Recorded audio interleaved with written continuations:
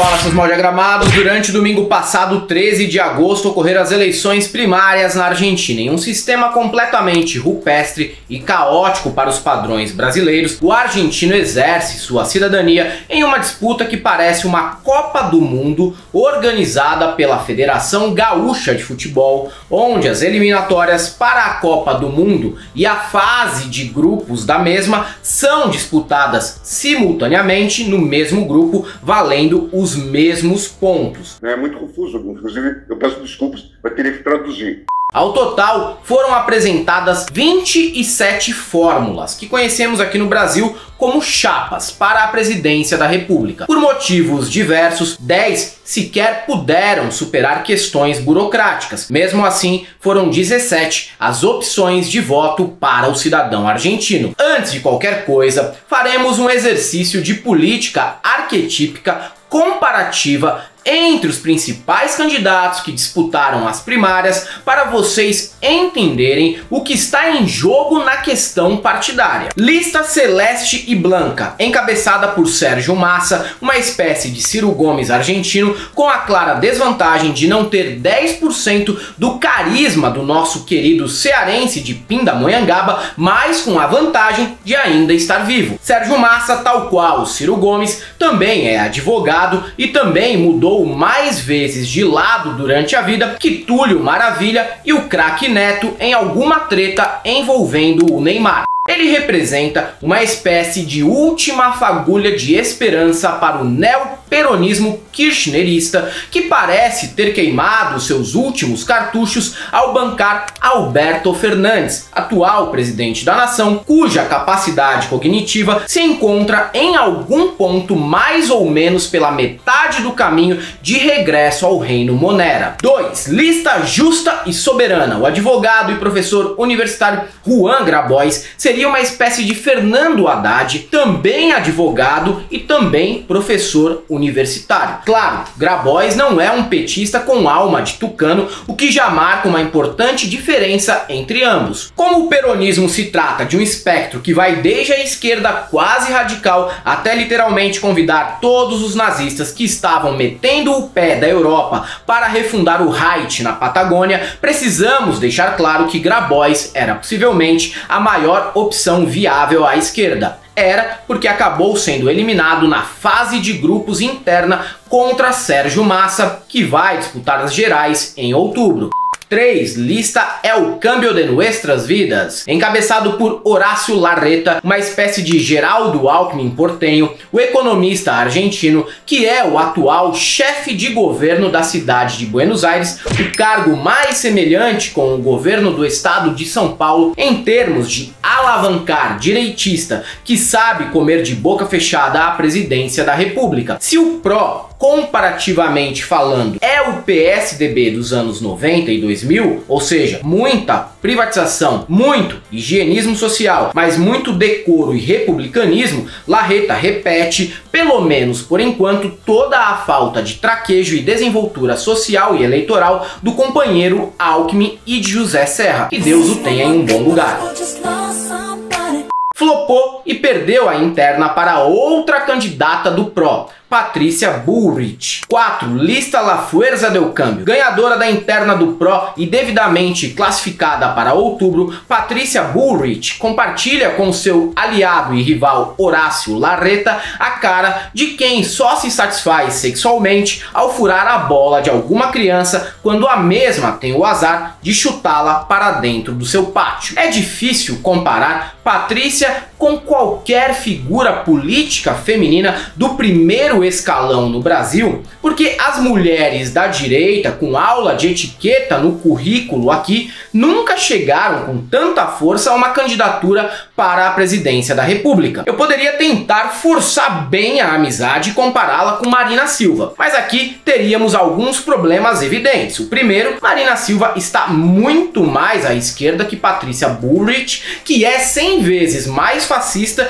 que qualquer eleitor do Milley. Segundo, Burrich não anda pela vida 100% do tempo no modo sonsa menina charlinha. Terceiro, não acho que Marina Silva tomaria banho com sangue de mulheres jovens para tentar manter-se jovem também. 5. Lista Tierra, Techo e Trabajo. Guilhermo Moreno é certamente o candidato mais carismático no cenário político argentino. Foi uma espécie de capataz de fazenda durante os governos de Néstor e Cristina Kirchner. Bravateiro de primeira linha e mais peronista que o próprio general, Moreno é uma mistura de Maluf com Brizola. Não chegou nem perto de se classificar para as gerais, mas nos garantiu vários momentos divertidos durante sua proto-campanha. Agora se querem quedar com tus ideas, agora se vão quedar com a causa.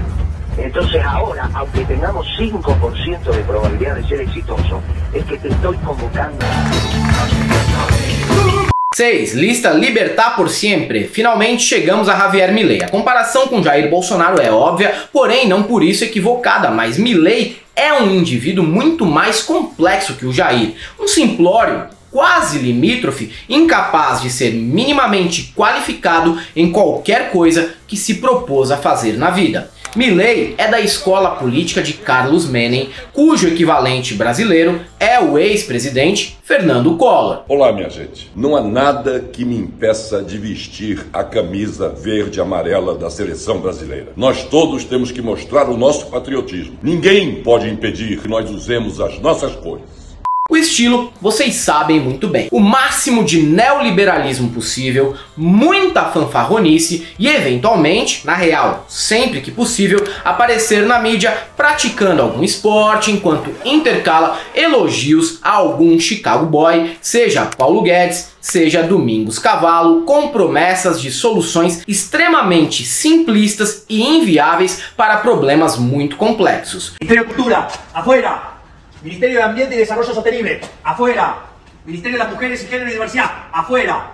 Ministerio de Obras Públicas, afuera, aunque te resistas. Ministerio de Educación, adoctrinamiento, afuera. Mas a questão aqui é por que 30% dos votos foram para Milley, um sujeito que, se você apertar um pouco mais, admite que a tal discussão filosófica sobre venda de órgãos e de filhos poderia, na realidade, ser suplantada pela legalização imediata de ambas as práticas. Porque um sujeito cujo discurso assertivo e verborrágico e que mistura pós-apocalipse no estilo Mad Max punitivismo ao estilo tolerância zero, suspensão de todo tipo de benefício social e dolarização esotérica do país consegue tantos adeptos. Porque um sujeito que é literalmente um ex-cover de Rolling Stone, ex-goleiro das inferiores do Chicarita e cujo relacionamento com a irmã parece saído de um conto folclórico alemão ambientado em Santiago del Estero, teve tanta penetração social. Como tudo ainda é relativamente recente, vamos listar alguns dos principais subgrupos humanos responsáveis pelo sucesso de tal fenômeno. Fique ligado em como há semelhanças e até pioras significativas em relação ao Brasil. O primeiro grupo é o interiorano desiludido. Existe uma certa tensão e rancor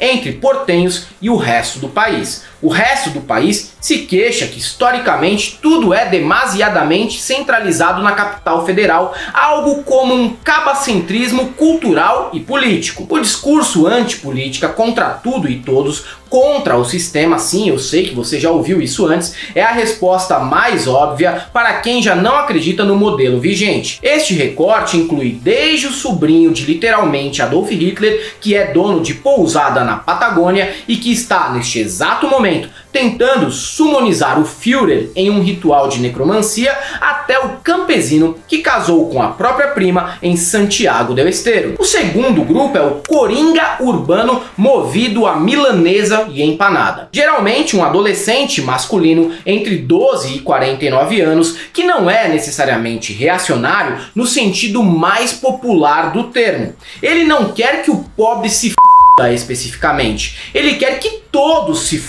menos ele. Essa mistura de Forschener, galego-goiano primordial e italiano espiritual quer mais é ver o circo pegando fogo em um grande reset econômico com o claro intento de dar o pulo do gato ou apenas por mera inconsequência festiva. O terceiro grupo é o de boomer espólio dos anos 90. Este grupo é essencialmente formado por pessoas que já eram adultas e economicamente viáveis nos anos 90 e viveram uma Buenos Aires efervescente, doses inseguras aventuras de cocaína, champanhe, férias nababescas em Mar del Plata ou na costa brasileira, mais cocaína e nenhuma visita ao dentista na vida o sonho acabou. A decadência total chegou, mas o sonho impossível do regresso, esse desejo coletivo também explicado pelo escritor e gênio argentino Alejandro Dolina, ainda se mantém vivo. Quarto grupo, saudade do que nunca vivi. Seja por não estar sequer nascido à época, mas cresceu ouvindo bravatas e mentiras sobre um período dolarizado esotérico, seja porque a época era muito jovem ou simplesmente um um adulto fudido financeiramente e passou longe do champanhe com Cheroline,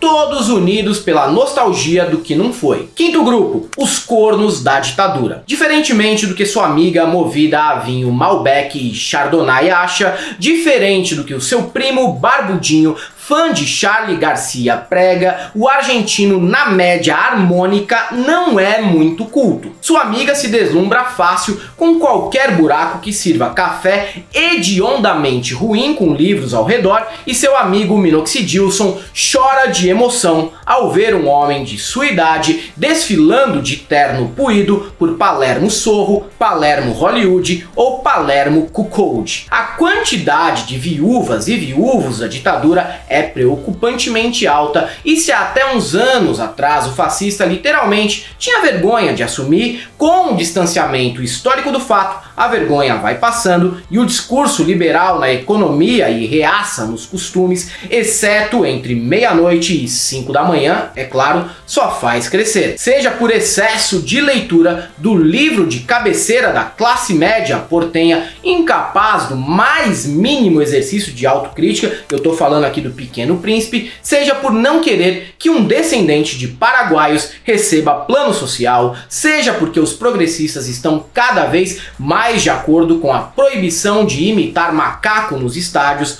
bom mesmo era na época do Videla, porque minha querida avó maltratadora serial de garçonetes assim o disse, ou porque o meu paizão, que está patologicamente apegado a qualquer coisa que o faça lembrar de sua última ereção orgânica, assim o prega. E é isso aí, galera. Para quem gosta do nosso canal, nós temos nosso apoio, seja membro, Pix e Conta Jurídica, caso vocês queiram e possam fazer uma colaboração para que a gente continue a produzir conteúdo por aqui. Se você gostou do vídeo de hoje, não deixe de conhecer o canal Deep Brasilis, porque foi o Deep Brasilis, o nosso correspondente na Argentina, que escreveu o roteiro de hoje. E para quem nos conhece só do YouTube, saiba que nós estamos no Facebook, no Twitter, no TikTok e no Instagram temos as nossas novas camisetas que estão no site da El Cabriton e o nosso curso que está no ICL, Instituto Conhecimento Liberta. E para todos aqueles que acham que o Milley é uma ótima ideia para governar a Argentina e muito diferente do Bolsonaro, só temos uma coisa para te dizer, não passarão.